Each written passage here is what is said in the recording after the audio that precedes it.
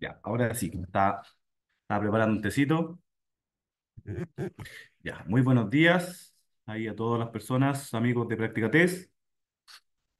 Eh, bueno, no, ahora nos encontramos para eh, analizar y resolver el test diario, ¿cierto? El test que corresponde al día de hoy. Buenos días a todos, buenos días Alexis.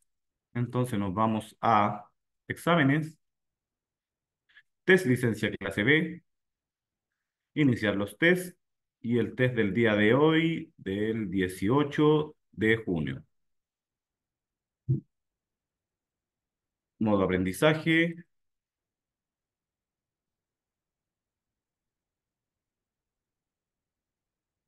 Ya. Acá dice, pregunta número uno. Si al circular por una carretera se encuentra con placas de hielo en la calzada, es conveniente A. acelerar para salir lo más pronto del peligro, B. llevar el pedal del freno ligeramente presionado para que en, caso de necesidad la frenada sea más rápida, y C. no frenar ni acelerar y conducir con suavidad, y la D es acelerar para evitar el patinaje. ¿Ya? Si circulando por una carretera nos encontramos con placas de hielo en la calzada, ¿qué sería lo más conveniente hacer? Ya lo más seguro, acelerar para salir lo más pronto posible del peligro, B, llevar el pedal del freno ligeramente presionado para que en caso de necesidad la frenada sea más rápida. C, no frenar y acelerar y conducir con suavidad. Y D, acelerar para evitar el patinaje.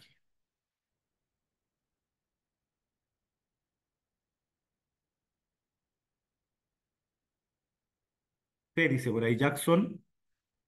Dice que es la C. C dice Olivia. Jessica también dice que es la C. No frenar ni acelerar y conducir con suavidad. Claro, como en este caso, con placas de hielo en la calzada, nosotros vamos a tener mucho menos adherencia, incluso una, adherencia nula de, las, de los neumáticos con la calzada, ¿cierto? Entonces, si nosotros aceleramos, es muy probable que las ruedas patinen, ¿ya? Y perdamos el control del vehículo. Y si frenamos también, ¿ya? Aceleraciones bruscas y frenadas bruscas son súper complicadas con hielo. Entonces, vamos a tratar de hacer es no acelerar ni, o sea, no frenar ni acelerar y conducir lo más suave posible en este territorio hasta que podamos salir de ahí. Ya, buenos días, Paz. Entonces, como dicen ahí Olivia, Jessica, Alexis, Jackson, es la letra C. Ya, no frenar ni acelerar y conducir con suavidad. Vamos con la siguiente pregunta. Dice, ¿qué debe hacer usted al ser adelantado por otro vehículo? Buenos días, Norma. ¿Qué debe hacer usted al ser adelantado por otro vehículo? A. Mantener su velocidad o disminuirla para permitir el adelantamiento. B. Frenar bruscamente. O C. Encender las luces bajas. ¿Qué debemos hacer entonces al ser adelantado? Buenos días, Sandra.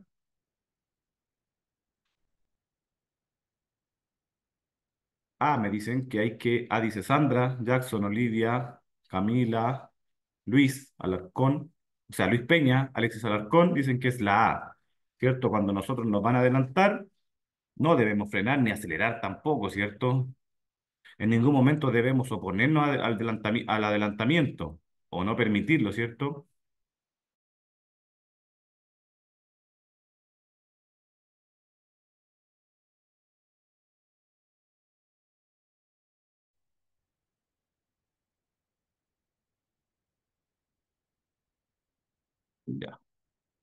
Entonces, la mayoría dice que es la A, que es mantener su velocidad o disminuirla para permitir el adelantamiento, ¿cierto? Entonces, corregimos y efectivamente es la letra A. Ya debemos siempre porque no permitir un adelantamiento o intentar oponerse a adelantamiento puede ser peligroso para nosotros, para el conductor obviamente que está realizando la maniobra de, de adelantamiento y para el vehículo que pueda venir desde el sentido contrario, o sea, para todos. 3. Hablando de adelantamiento, dice aquí que la maniobra de adelantamiento es maniobra mediante la cual un vehículo pasa a otro u otros que circulan en el mismo sentido. B. Maniobra efectuada por el costado izquierdo del eje de la calzada, mediante la cual un vehículo se sitúa delante de otro u otros que lo antecedían. C. Maniobra mediante la cual un vehículo pasa a otro u otros que circulan en el mismo sentido sin traspasar el eje de la calzada. ¿Cuál sería la definición de adelantamiento? B dice Camila, Alexis, Olivia, Jackson dicen que la B. Sandra, Paz. También dicen que es la B, ¿ya? Que sería una maniobra efectuada por el costado izquierdo del eje de la calzada. El eje de la calzada es la línea central que divide el, el tránsito, ¿cierto? Que divide los sentidos del tránsito. Sería pasar hacia el lado izquierdo del eje de la calzada para situarnos delante de un vehículo que nos antecede. Eso sería un adelantamiento. ¿Ya? Si yo paso el eje de la calzada, o sea, quedo contra el tránsito, paso el eje central, la línea central, la traspaso para hacer para pasar al otro vehículo. ¿Ya? Eso se puede dar en una vía doble sentido del tránsito, ¿cierto? Entonces, ahí nosotros podemos hacer un adelantamiento. ¿Dónde yo puedo hacer un sobrepaso? En una vía que tiene dos o más pistas por sentido, por ejemplo, como una autopista, como una avenida grande, donde yo voy a traspasar al otro vehículo en el mismo sentido del tránsito, ¿ya? Sin circular, sin traspasar obviamente un eje de calzada, porque en este caso no vamos a tener un eje de calzada, porque son tres pistas en el mismo sentido o dos pistas en el mismo sentido, ¿cierto? Entonces, eso sería un sobrepaso. Un adelantamiento es cuando yo traspaso el eje de la calzada, ¿ya? En no todas las eh, calles o avenidas se puede realizar adelantamiento, obviamente, y sobrepaso. En autopistas, por ejemplo, adelantamientos no vamos a hacer porque tenemos dos o tres, tres pistas por sentido, ¿ya? Y obviamente hay un bandejón central, no hay un eje de calzada que se pueda traspasar. En caminos rurales donde más hacemos adelantamientos nosotros. ¿Ya? Entonces, como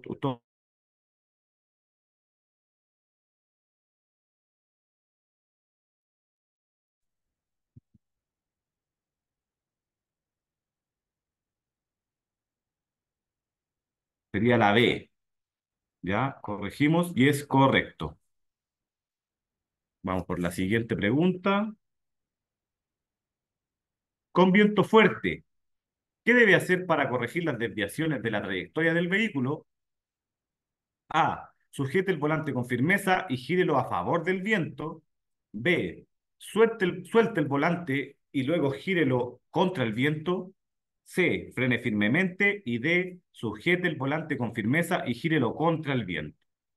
¿Ya qué debemos hacer nosotros con viento fuerte? Para corregir las desviaciones que podamos traer, o sea, que, que nos pueda dar el trayecto, ¿cierto? Eh, con este viento. Ya el viento nos va a dar ciertas desviaciones. Para corregirlas, ¿qué debemos hacer?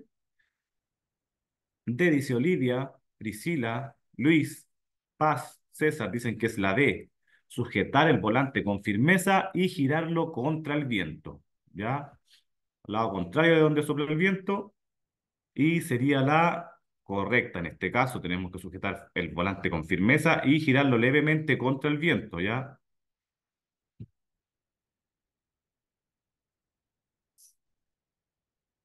Pregunta 5. Si si mi automóvil no está produciendo la energía eléctrica suficiente, significa que el motor posee pocas revoluciones por minuto, el alternador se sobrecalentó, falta de tensión de la correa de alternador y D, la batería está llena.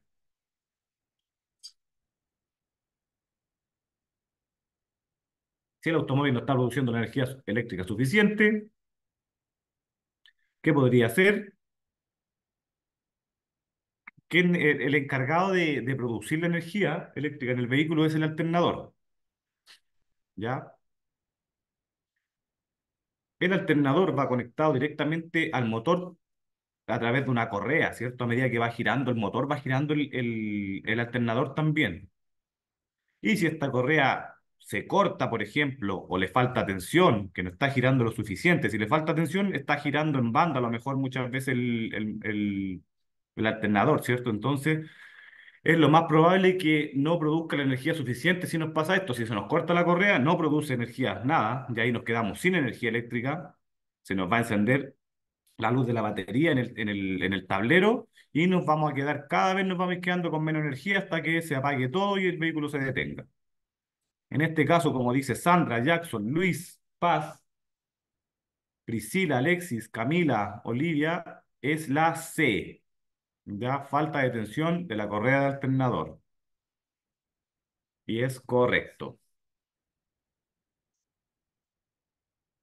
Dice, si estás conduciendo en una zona rural, como esta imagen, ¿qué peligros debes considerar? Pregunta multirespuesta. Alternativa A, que después de la curva exista un vehículo detenido en pana. B, que venga un vehículo en sentido contrario e invada la pista cortando el paso. Y C, que sorpresivamente aparezca un animal. ¿Ya? Si estamos conduciendo en una vía rural como la de la imagen, ¿a qué tenemos que estar nosotros? ¿Para qué tenemos que estar preparados después de la curva, por ejemplo? ¿Ya? Que después de la curva existe un vehículo en pana, es muy probable, ¿cierto? Que haya algún, no solamente un vehículo en pana, que haya algún problema ahí, no sé, unos trabajos, un árbol, no sé, cualquier cosa que pueda estar obstaculizando nuestra pista, ¿cierto? Entonces, esa es correcta. Que venga un vehículo en sentido contrario e invada la pista cortando el paso. Puede pasar también, sobre todo en estas vías que son tan angostas, de repente hay gente que no toma bien la curva y se pasa del eje de la calzada y que sorpresivamente aparezca un animal, también es probable porque estamos en una vía rural, en el campo, ¿cierto? Y como dice ahí Jackson, Sandra, Priscila, RZ, Alexis, Olivia, Camila, Luis, son todas correctas.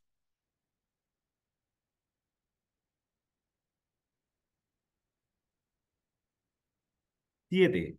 ¿Cuántas personas mueren diariamente en Chile a causa de los accidentes de tránsito? A, unas 600, B, entre 4 y 5, C, entre 6 y 9 y D, entre 9 y 15. ¿Cuántas personas mueren en Chile diariamente por causa de los accidentes de tránsito?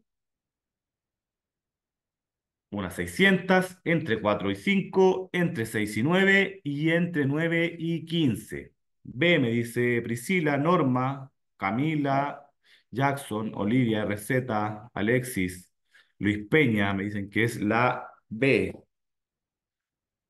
¿Ya? Sería la B. Entonces, claro, en Chile mueren diariamente a causa de los accidentes de tránsito entre 4 y 5 personas, que al año vienen siendo entre 1.600 personas aproximadamente. Ya son bastantes a causa de los accidentes de tránsito. Está bien Sandra, que Sandra me había puesto ahí que era la A, pero me dice que apretó mal que era la B. Ya no hay problema. Entonces, claro, estas son preguntas que tenemos que ir memorizando de estas cifras. Ya son, en Chile mueren entre 4 y 5 personas diariamente a causa de los accidentes de tránsito. Corregimos y es correcto. 8. Las alergias de los conductores generan ciertos riesgos para el tránsito. Indica cuál de las siguientes afirmaciones es incorrecta. ¿Ya?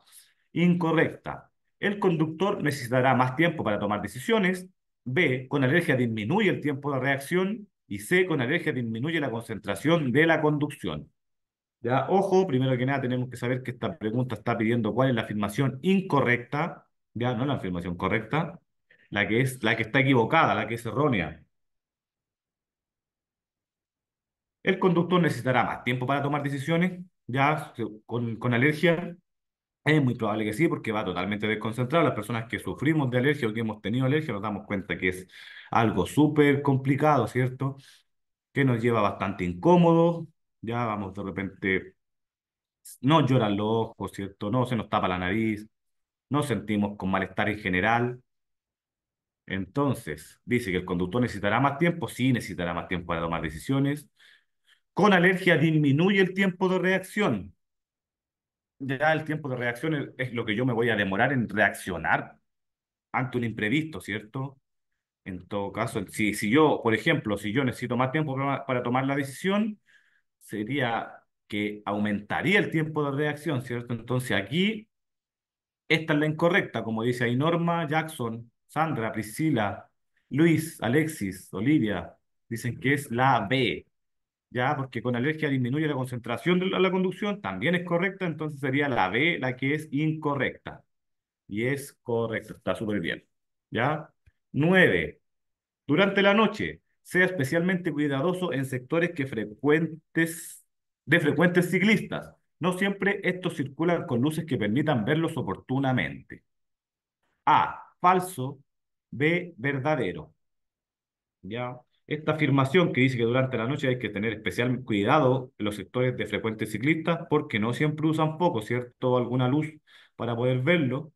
Y esto sería verdadero, ¿cierto? Como dice ahí Luis, Jackson, Camila, Norma, Paz, Priscila, Sandra, sería verdadero porque los ciclistas mayormente no llevan algún, algún, alguna luz, ¿cierto? Algún artefacto de- luminoso que los, para, que, para permitir verlo, ¿cierto? Porque ellos prácticamente no tienen fiscalización, nadie los va a fiscalizar, mucha de esta gente no tiene licencia, jamás ha hecho un curso, por ejemplo, o jamás se ha preparado para rendir un examen como lo están haciendo ustedes, entonces mayormente los ciclistas, no todos, obviamente hay ciclistas que conducen, hay ciclistas que son conductores de años también, pero eh, muchos ciclistas no tienen ninguna preparación, no tienen ningún curso, jamás han leído nada de tránsito, entonces no, no, no, no saben esto, son, son un poco ignorantes en el tema, ya en el buen sentido de la palabra. Entonces, eh, claro, mayormente no circulan con luces que permitan verlo oportunamente y es verdadero. Nueve, 10. ¿De qué manera el alcohol afecta a la capacidad para, un para conducir un vehículo? ¿De qué manera el alcohol afecta a la capacidad para conducir un vehículo? B. Disminuye la capacidad de reacción del conductor. O sea, A. B. Intensifica los reflejos del conductor. Y D y C. Distorsiona la percepción de los colores del conductor. ¿De qué manera entonces afecta el alcohol a la capacidad para conducir un vehículo? A. Dice Paz, Elizabeth, Jackson, Luis, Priscila, Aileen, Olivia, Sandra, Lilian dicen que es la A, que disminuye la capacidad de reacción de un conductor, que no es lo mismo que el tiempo de reacción, ¿ya? Por ejemplo, que disminuye el tiempo de reacción es es algo positivo, ¿cierto? Entre mi tiempo de reacción sea más corto, tiene que decir que yo tengo mejores reflejos, pero si disminuye mi capacidad de reacción es algo negativo, ¿ya? Son dos cosas distintas, para que lo tengan súper claro. Entonces, el alcohol siempre va a generar, siempre va a afectar de manera negativa a nosotros, ¿cierto? Entonces, va a disminuir la capacidad de reacción del conductor, como dicen ustedes ahí, Jessica, Francisca, y es correcto. 11. ¿Qué es zona urbana? Ya me está preguntando acá la definición de zona urbana, es el área geográfica alejada y destinada principalmente a la agricultura, ganadería y otras actividades que abastezcan a la zona urbana. C. Se trata de una faja imaginaria demarcada que se destina al tránsito de vehículos. C. Se trata del área geográfica cuyos límites a los efectos de la ley de tránsito deberían estar señalizados y determinados por la autoridad competente. ¿Cuál sería la definición de zona urbana entonces? ¿Ya? La área geográfica alejada destinada principalmente a la, a la agricultura, ganadería, es, está hablando de zona rural o no urbana, ¿cierto? Cuando dice se trata de una faja imaginaria demarcada que se destina al tránsito de vehículos, eso sería una pista, o sea, una pista de circulación. Y la C sería que se trata del área geográfica cuyos límites a los efectos de ley de tránsito deberán estar señalizados y determinados por la autoridad competente. Esa es, como dicen ustedes ahí, la definición de zona urbana. ¿Ya? Y en zona urbana, ¿cuánto es el máximo de velocidad permitida? ¿Alguien sabe eso?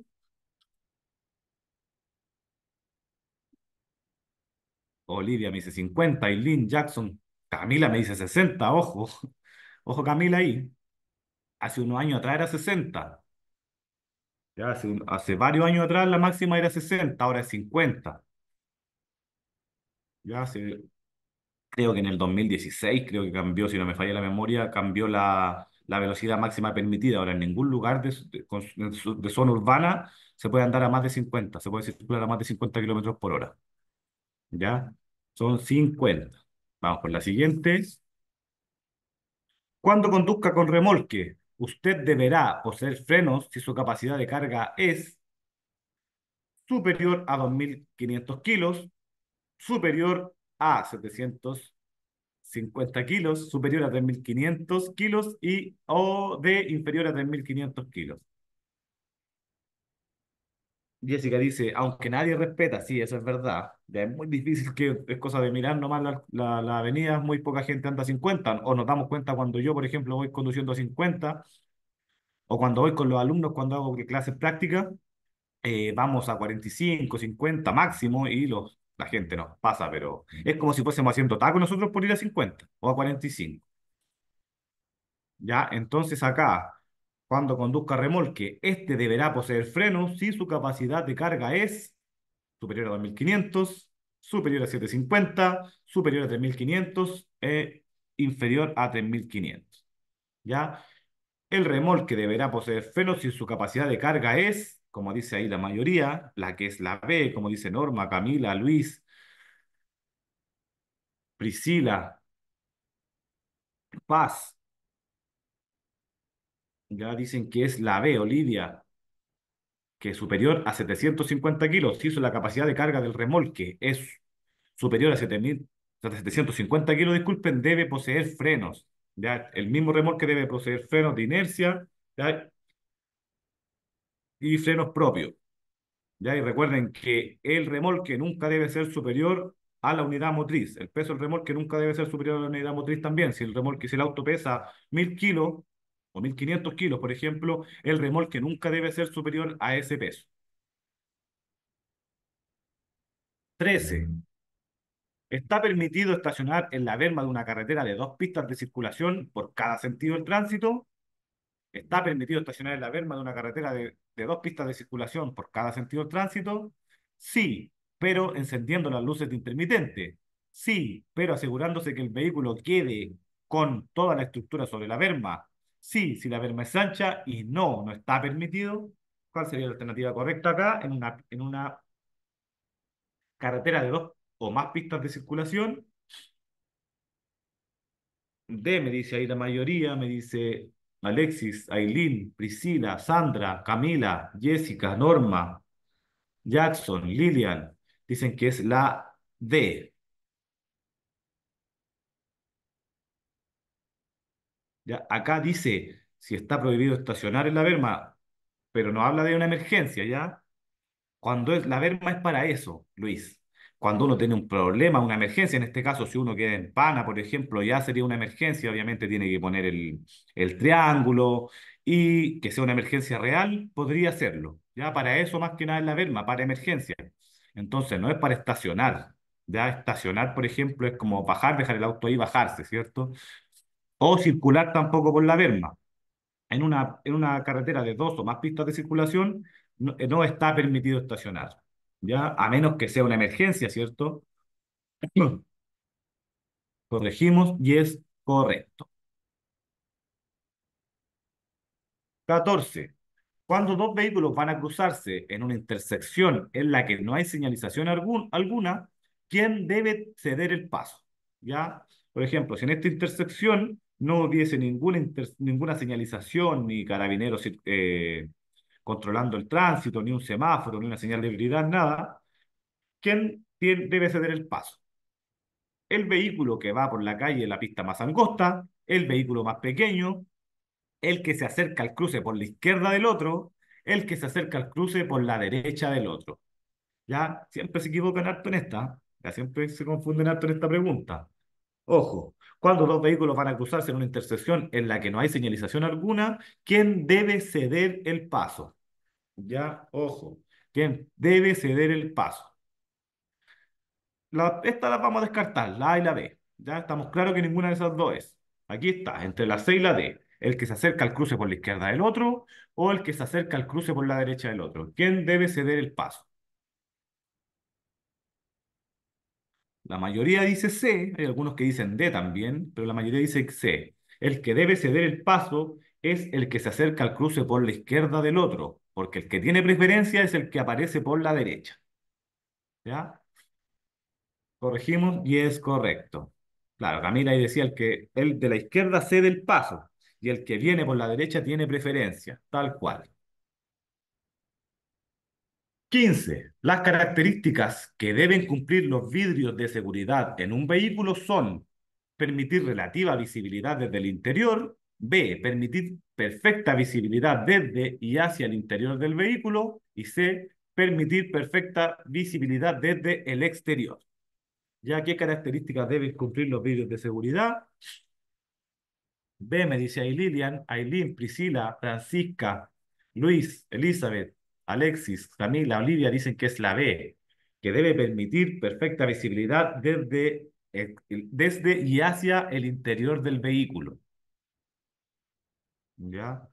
Deben permitir perfecta visibilidad, ¿cierto? Por eso que tenemos el tema este con los polarizados, que muchos no son legales, que tienen que tener cierta... No pueden ser muy ahumados, ¿cierto? No pueden ser muy oscuros. Tiene que alcanzar uno ver hacia adelante, hacia adentro, ¿ya? Porque hay algunos polarizados que son demasiado oscuros, que uno no ve nada. Ya esos no son legales, no van a pasar la revisión técnica y si los controla Carabineros les puede pasar una multa. Entonces tiene que permitir perfecta visibilidad desde y hacia el interior del vehículo. Y es correcto. Las instrucciones del tránsito son leyes impuestas por carabineros, restricciones para los conductores y un lenguaje que debemos entender. ¿Ya? ¿Qué serían las instrucciones del tránsito? C me dice Priscila, Camila, Ilino, Lidia, Sandra, Jackson, dicen que es la C. Francisca, ¿ya? Las instrucciones del tránsito no son leyes, los carabineros no legislan, ¿cierto? No van a dictar leyes los carabineros, tampoco siempre van a ser restricciones para los conductores, ¿ya? Tenemos señales de restricción, obviamente, en la norma del tránsito hay restricciones, pero no, no solamente es eso, sino que es un lenguaje que tenemos que entender todos, ¿cierto? Tenemos que entender, una vez que nosotros estudiamos ya las leyes del tránsito, las normas del tránsito, ya empezamos a entender un poquito que estas son señales de advertencia, señales de restricción, de autorización, de prohibición, ya de obligación. Tenemos que entender este lenguaje, ¿cierto? Entonces corregimos y es correcto. 17. ¿Con qué líquido debemos rellenar la batería si esta, si esta se encuentra con un bajo nivel de líquido? A, agua de la llave, B, agua destilada, C, líquido refrigerante y D, bicarbonato con agua. ¿Ya? Es una, una, pregunta bien antigua ya porque las baterías de hoy en día no se rellenan, son selladas, son libres de mantención y cuando fallan se cambian nomás, ¿cierto? Estas, estas son las baterías antiguas, pero esta pregunta puede aparecer todavía, ya todavía está un poco desactualizada la, la pregunta, entonces en la municipalidad también puede aparecer esta. Y en este caso nosotros deberíamos llenar, rellenar la batería con agua destilada. Recordemos que una mezcla de ácido sulfúrico con agua destilada. Corregimos y es correcto. 18. ¿Cuándo se puede hacer uso del aparato sonoro en zona rural? ¿Ya? ¿Cuándo se puede hacer uso del aparato sonoro en zona rural? Estaría hablando de la bocina, solo para prevenir un accidente, al entrar a un túnel o al llegar a una curva ya sabemos que la bocina solamente se utiliza, como dicen ahí ustedes, Alexis, Sandra, Norma, Francisca, Lilian, Jackson, Olivia, Luis, Aileen, Camila. Estamos todos claros que la bocina solamente se utiliza para prevenir un accidente. Acá dice aparato sonoro, ya, pero por la, por la imagen me, me muestra que la bocina también puede ser una sirena, ¿cierto? Pero solamente se va a usar para prevenir un accidente. 19. Cuando llueve después de un largo periodo de tiempo seco, es probable que la calzada esté más resbalosa. Ya sabemos que después de un largo tiempo seco, la calzada puede tener, no sé, estos mismos residuos de los neumáticos, aceite, polvo, todo eso tiene encima la calzada. Y con agua, al mezclarse con agua, queda súper resbaloso, crea este, este que llamamos nosotros jaboncillo, ¿cierto? Entonces, ¿cuándo podría estar más resbalosa después de un tiempo seco, al, al comenzar a llover? Unos cinco minutos después de que comienza a llover, unas dos horas después de que se detiene la lluvia, cuando recién se detiene la lluvia o después de dos horas de lluvia. ¿Ya? ¿Cuándo la calzada podría estar más resbalosa? Ah, dice ahí Norma, Luis, Olivia, Elizabeth, Aileen, Lilian, Alexis, Priscila, Camila, Sandra, Norma. Dicen que es la letra A, ¿ya? Unos cinco minutos después de que ha comenzado a llover. Claro, cuando recién comienza a llover, ¿cierto? Es cuando es el, momento más peligroso de la calzada porque está muy resbalosa después de un largo tiempo. O sea, las primeras lluvias son las más peligrosas. Ya, entonces corregimos y es correcto. Pregunta 20. ¿Cuál de las siguientes afirmaciones es falsa? ¿Ya? ¿Cuál de las siguientes afirmaciones es falsa? Discutir con alguien o estar pendiente de la radio del vehículo aumenta el riesgo de pasar por alto una situación relevante en el tránsito. B. La falta de atención a las condiciones de tránsito es una de las principales causas de los accidentes. Y C. Un conductor que va con mucha prisa tiende a sobreestimar los riesgos. C dice ahí Olivia, Norma, Janina, Aileen,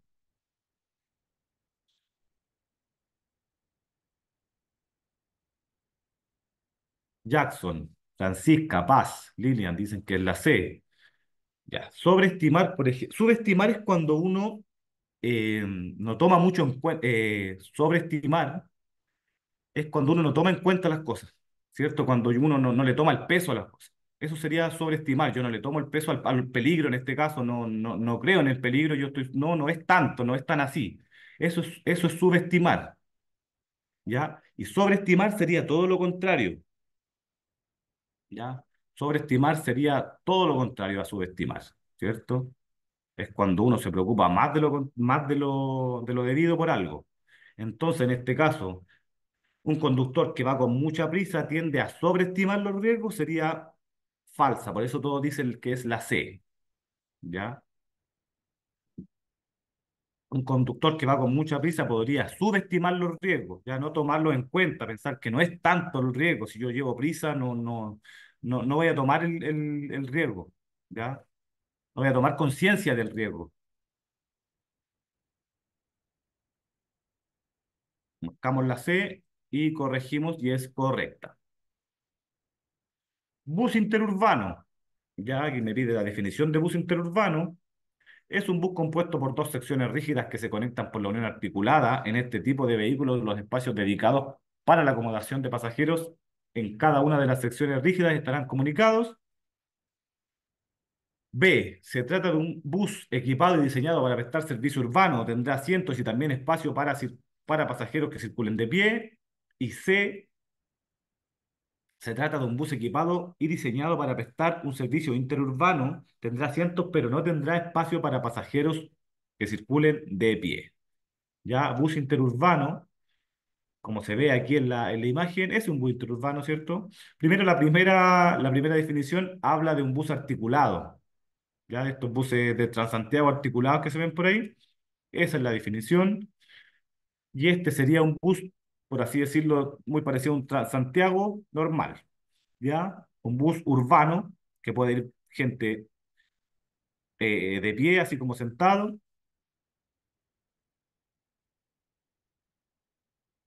Y, por ejemplo, la C sería ya se trata de un bus equipado diseñado para prestar servicio interurbano, tendrá asientos, pero no tendrá espacio para pasajeros que circulen de pie. Esa sería la alternativa de bus interurbano. Marcamos 10 correctos. 22. En cuanto al manejo de luces en un encuentro, ¿qué, ¿qué afirmación es correcta? A. Baje sus luces lo más rápido posible para evitar un accidente. B. Baje sus luces con suficiente anticipación, pero no lo haga demasiado pronto. Y C.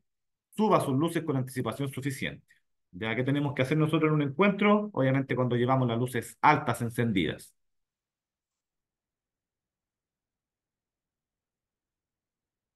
En el libro El Conductor hay una parte que habla de esto. Ya que tenemos que hacer nosotros un encuentro, ya dicen, la mayoría dice que es la A, baje sus luces lo más rápido posible para evitar un accidente. La B sería, baje sus luces con suficiente anticipación, pero no lo haga demasiado pronto. Y C, suba sus luces con anticipación suficiente. A me dice, Aileen, Sandra, Lilian, Janina, Olivia dice que es la B, Norma dice que es la B, Alexis, dice que es la B, y B dice que es la B. Acá en esta pregunta me imagino yo que dice que tenemos que hacer bajar las luces con suficiente anticipación, ¿cierto? Pero quizás no, no demasiado pronto, porque si vamos en una, en una, en una vía rural muy oscura, si yo bajo mis luces demasiado pronto voy a perder visibilidad, ¿cierto? Hacia adelante, ya además, con demasiada anticipación y eso no es tan seguro. Ya nosotros debemos bajar las luces eh, con suficiente anticipación para no deslumbrar al otro conductor, pero tampoco no lo hacemos con, con tanta anticipación. Eso, eso es lo que yo entiendo esta pregunta, por lo que he leído. Ya entonces, según, según lo que yo creo, es la B, no la A. Ya la B me hace más sentido a mí. No es una pregunta que yo recuerde así como tan, tan bien, pero creo que es la B. Ya, Estamos divididos en el chat. Gente que dice la A, gente que dice la B. Vamos a corregir y es la B. Ya vamos a ver la explicación, para ver si es que nos puede dar un poquito más de... Dice, baje sus luces con anticipación suficiente, pero no lo haga demasiado pronto, a menos que uno de los conductores se vea cegado por las luces del otro. Todo el espacio entre los dos vehículos debe encontrarse iluminado. ¿Ya? Eso es lo que dice la explicación. Eso es lo que quiere decir, que todo el espacio entre los vehículos debe encontrarse iluminado. Quizás si yo bajo mis luces demasiado pronto, no voy a, el, el espacio no se va a ver tan iluminado, ¿cierto? En vías rurales, nosotros andamos a más velocidad, conducimos a más velocidad, ya sabemos que en zonas rurales podemos andar a 100, si es una pista por sentido, si son dos pistas por sentido, podemos andar a 120. Entonces, si yo voy a 100 kilómetros por hora y llevo las luces bajas encendidas, no voy a alcanzar a ver un peatón, por ejemplo, muy cerca. No sé, con ropa oscura, imagínense, lo voy a ver a 25 metros la otra vez. Bueno, en algún momento vamos a ver eso también. Entonces, en este caso sería la B. ¿Ya? En zona rural, ¿cierto? Porque si vamos con luces altas es porque vamos en zona rural. Deberíamos ir con las luces altas, Dice, la pregunta media confusa por lo que dice en un encuentro, se supone que ya están casi cruzándose, me imagino. Sí, yo, también creo lo mismo. Voy a aquí hacer un comentario sobre esta pregunta para ver si es que se puede quizás hacer un, un poquito más... Lo que pasa es que estas preguntas siempre se, se rigen con lo que dice el libro del conductor. Ya el libro del conductor generalmente es un poco confuso. Ya hay muchas cosas que están directamente como, como las dice el libro del conductor, por eso que son medias confusas igual. Dice Alexis, generalmente los mismos conductores le, le dice jugando con las luces que las baje porque le están molestando y lo cegan. Claro, exactamente. ¿Ya? Vamos por la siguiente pregunta. 23. Con respecto a las estadísticas, la mayoría de los fallecimientos por accidentes de tránsito se dan A. Cruces con semáforo. B. Vías interurbanas o no urbanas. Y C. Vías urbanas. ¿Ya? con respecto a las estadísticas, la mayoría de los fallecimientos por accidentes de tránsito se dan en cruces con semáforo, vías interurbanas y vías urbanas. Esto lo vimos ayer, en el, en el módulo de ayer, vimos este tema. ¿Ya? B, me dice ahí Priscila, Sandra, Francisca, Lilian, Janina, Liliana, Olivia, Aileen, Norma, dicen que es la B. ¿ya? Vías interurbanas o no urbanas, es, o vías rurales también, es donde tenemos un 60% de los fallecimientos en el total de los accidentes de tránsito. Ya tenemos un 85% de, de en, en, el total de accidentes es un 85% en vías urbanas, pero un 60% de los fallecidos está en vías no urbanas, rurales o interurbanas. Y es correcto. 24. Utilizamos el concepto de conducción eficiente para referirnos a una actitud y a un tipo de conducción que le permitirá obtener un mayor rendimiento energético en su vehículo. Alternativa A, verdadero. B, falso. ¿Ya? Utilizamos el concepto de conducción eficiente para referirnos a una actitud y a un tipo de conducción que le permitirá obtener un mayor rendimiento energético en su vehículo. Esto es completamente, como dice ahí, Francisca, Yanina, Norma, Jackson, Luis, Paz, Aileen, Camila, Priscila, Olivia, completamente verdadero. Esa es una definición de conducción eficiente. Ya contamino menos, gasto menos combustible y me estreso menos también. ¿Dónde se produce la mayor parte de fallecidos por accidentes de tránsito? Una pregunta súper parecida a la que vimos hace un rato. A, vías interurbanas y no urbanas, B, carreteras, C, vías urbanas y D, vías no rurales. Ya en este caso sería la A, como dicen ahí ustedes, que es la misma pregunta anterior. Vamos por la 26. Usted está enfrentando un semáforo en amarillo. ¿Qué luces se encenderán después? Ya, si estamos enfrentando un semáforo en amarillo, ¿qué luces vienen después? Primero la verde y luego la roja. B, primero la roja y luego la amarilla nuevamente. C, primero la verde y luego la amarilla nuevamente. Y D, primero la roja y luego la verde. ¿Qué luces vienen después de la amarilla en el semáforo entonces? D, dice Paz, Janina, Francisca, Priscila, Sandra, Luis, Lilian, Olivia, Aileen, Alexis, dicen que es la D. Después de la amarilla, obviamente, viene la roja, porque la amarilla es precaución, ¿cierto? Y advierte sobre la luz roja, y después de la luz roja vendrá la verde para poder continuar la circulación. 27, pregunta multirespuesta. Con respecto a los problemas de los accidentes de tránsito en Chile, podemos decir que por consecuencia de los accidentes de tránsito, al año fallecen 1.600 personas. B, diariamente, mueren a causa de los accidentes de tránsito entre 4 y 5 personas. C, en promedio, 150, o sea, 550 personas son atropelladas al año a causa de los accidentes de tránsito. Y D, se registran 86.000 accidentes de tránsito al año aproximadamente. ¿Ya? Con respecto a los accidentes de tránsito, algo que vimos ayer, ¿cierto? En el módulo de ayer. Todas, dice Priscila, Sandra, Aileen, Alexis, Luis, Lilian, Camila, Jackson, Olivia, dicen que son todas, ¿ya? Que por, por, por consecuencia de los accidentes de tránsito al año fallecen 1.600 personas. También diariamente mueren a causa de estos mismos accidentes 4 a 5 personas diarias y en promedio 550 son atropellados al año a causa de los accidentes de tránsito y se registran 86.000 accidentes al año aproximadamente. ¿Ya? Son todas en este caso. Corregimos y es correcto. 28. La sanción por participar en un accidente en el que han resultado personas lesionadas gravísimas en estado de ebriedad y huir del lugar puede ser por un plazo de hasta un año, B, inhabilidad perpetua para conducir vehículos y C, 90 días. ¿Ya? Si analizamos acá, dice que son personas lesionadas gravísimas, ya es un agravante súper grande este. También acá dice que en estado de ebriedad, o sea, en el estado, en el estado más, eh, por así decirlo, más grave ya de los estados etílicos. Primero está el, bajo la influencia del alcohol, después está en estado de ebriedad y ya más encima huir del lugar, darse a la fuga, ya negarse a la, a la, o alcoholemia. Ya podría ser esto, es como lo más grave, ¿cierto? Entonces aplica la ley Emilia, como dicen ahí. En estado de ebriedad aplica la ley Emilia. Ya, huir del lugar. Ha encima lesionado gravísimo. Tiene mucho agravante esto. ¿Ya? Entonces, como dice ahí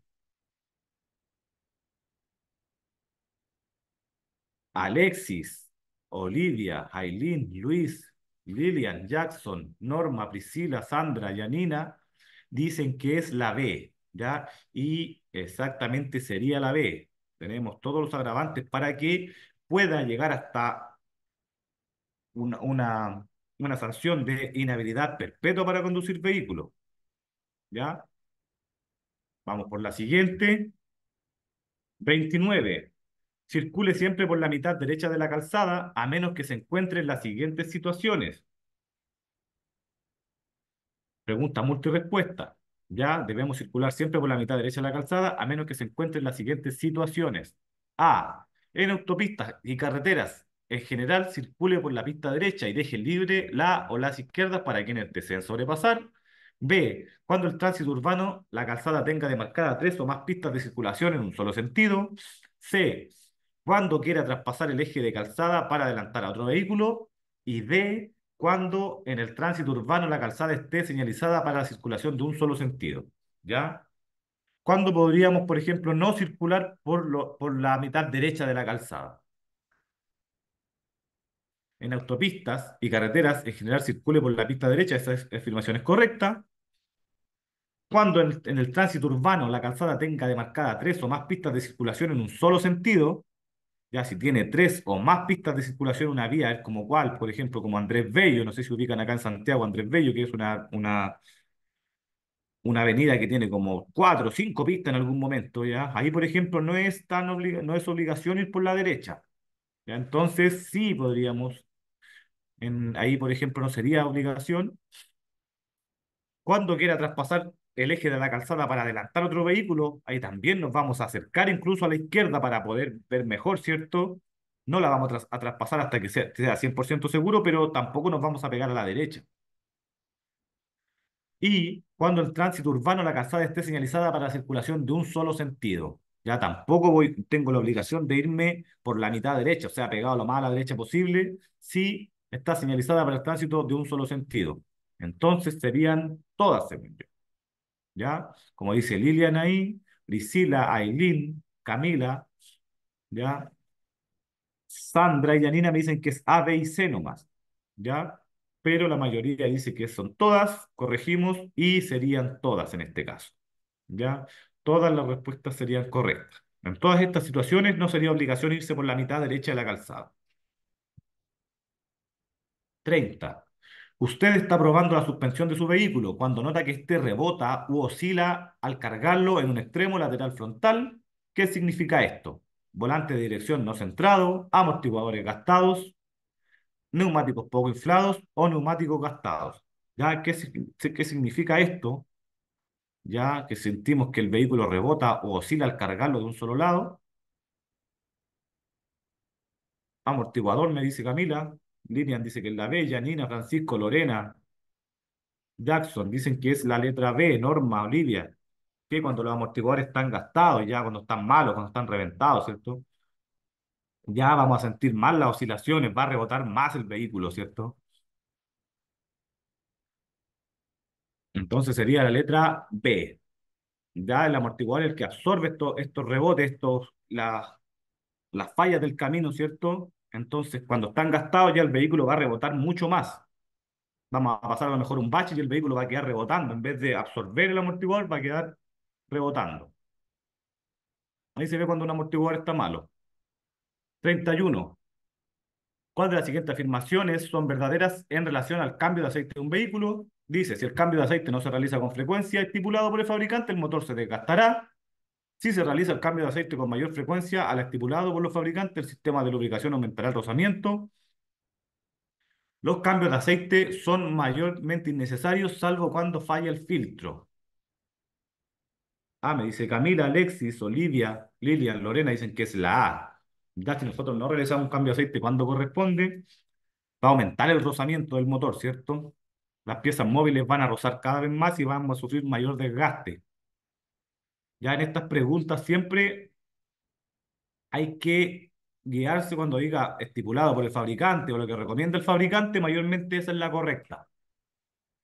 En este caso, si el cambio de aceite no se realiza con frecuencia estipulada por el fabricante, el motor se desgastará más. 32. Si sube la temperatura del motor, ello puede ser consecuencia de filtro de aire tapado, una falla en la bomba de agua, exceso de nivel de agua. Si sube la temperatura del motor, podría ser consecuencia de filtro de aire tapado, una falla de la bomba de agua, exceso del nivel de agua. B dice Priscila, Lorena, Sandra, Camila, Lilian, dicen que es la B, una falla de la bomba de agua. Claro, que la bomba de agua es la que impulsa el agua, ¿cierto? Por todo, para que circule por el vehículo. Si falla la bomba de agua, el agua no va a circular como corresponde por, por todos los los conductos, ¿cierto?, para ir enfriando el vehículo, entonces lo más probable es que suba la temperatura del motor. También tenemos otros, otros motivos por los cuales puede subir la temperatura, ¿cierto? Un, sistema obstruido, falla el termostato, eh, falla de la correa del electroventilador, muchas cosas más.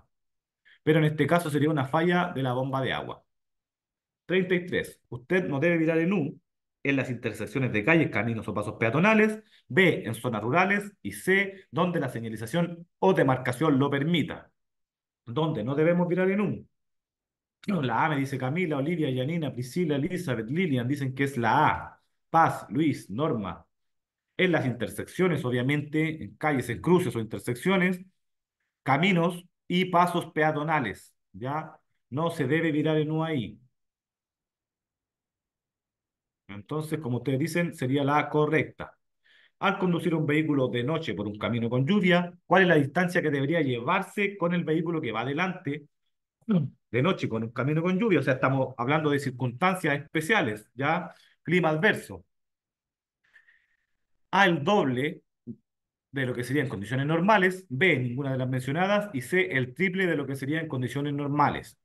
¿Ya? Como dice ahí Jackson, Sandra, Paz, Priscila, Olivia, Lilian, Janina, Alexis, sería la A al doble que sería en condiciones normales. Ya debemos aumentar al doble. ¿Ya? Con hielo y nieve también puede ser al doble, pero dice también el libro del conductor que, por ejemplo, con hielo puede aumentar hasta 10 veces tu distancia de detención. Imagínate, hasta 10 veces puede aumentar tu distancia de detención. Entonces, si puedes hacerlo a más del doble, sería mucho más. ¿ya? Obviamente es más peligroso con hielo. Te podemos tener cero contacto con, con la calzada, con los neumáticos, o sea, cero adherencia. Y el, yo, yo, uno es cosa de mirar de repente, yo he visto, no sé, me, me ha tocado también, como yo he trabajado mucho tiempo conductor, he andado mucho tiempo en la calle, me encontraba con, esta, con estas situaciones de, de lugares muy sombríos donde hay hielo en la mañana, en la madrugada, por ejemplo, 6 de la mañana, y he visto cómo patinan los autos. Cuando la gente trata de frenar y el auto avanza, avanza, avanza, como que incluso toma más velocidad, ¿ya? Con hielo puede ser súper peligroso, por eso que dice, que como bien dice el libro del conductor, que puede aumentar hasta 10 veces nuestra distancia de detención, o sea, si yo me demoro, o sea, voy a demorarme 10 metros en, en, en detenerme, con hielo pueden ser hasta 100, imagínense. Entonces ahí con hielo y con nieve tenemos que tener mucha precaución, ¿ya? Entonces esta sería la correcta. 35. ¿Por qué se recomienda conducir lentamente y mantener la marcha más alta posible cuando hay nieve? para evitar así que las ruedas del vehículo patinen, para dejar disponible la marcha baja en caso de que las ruedas patinen, para tener una menor adherencia de las ruedas. ¿Ya? Acá en este caso, por ejemplo, nosotros, ¿por qué conduciríamos con la, mar, la, la mar, marcha más alta posible? ¿Ya? Para evitar tener tanta tracción en las ruedas, para que las ruedas no tengan tanta fuerza, no giren tan rápido. Ya obviamente, si yo pongo primera y, y, y, acelero muy fuerte, las ruedas pueden patinar y obviamente puede patinar el vehículo, se me puede, ah, se me puede arrancar o se puede enterrar también.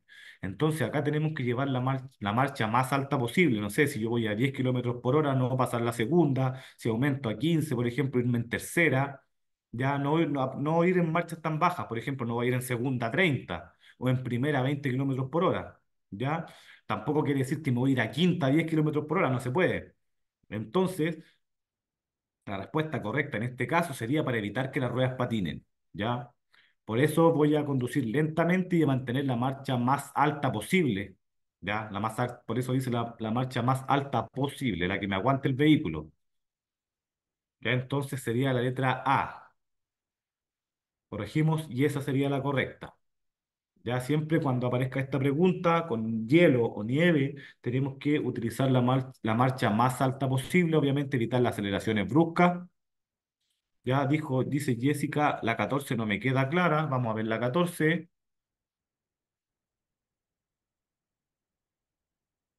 Ahí está. Dice que cuando dos vehículos llegan a un cruce, ya no siempre de frente, sino que puede venir desde acá, ¿ya? cuando vehículos, dos vehículos llegan a un cruce y van a cruzarse, obviamente, ¿quién debe ceder el derecho preferente de paso? ¿Ya? Supongamos que este vehículo viene desde acá. ¿Quién debe ceder el derecho preferente de paso? Siempre el derecho preferente de paso lo va a tener el que aparece por la derecha. ¿Ya? El que aparece por la derecha del, de este caso. Si acá viniese un vehículo desde aquí, desde ahí, el que tendría derecho preferente paso sería el vehículo azul, el auto azul, porque él aparece desde la derecha. ¿Ya?